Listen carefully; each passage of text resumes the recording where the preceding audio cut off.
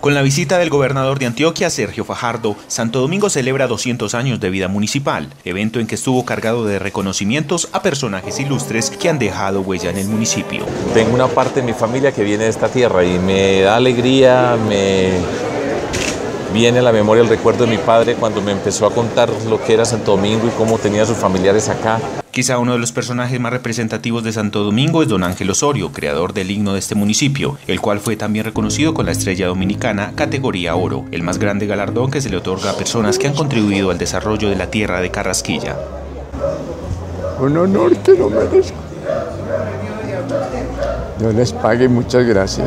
Durante toda esta semana, horas de teatro, exposiciones engalanaron estas celebraciones. Bueno, fue un evento con mucha altura donde tuvimos eh, representación de diferentes personas, de personajes de Antioquia y de la nación.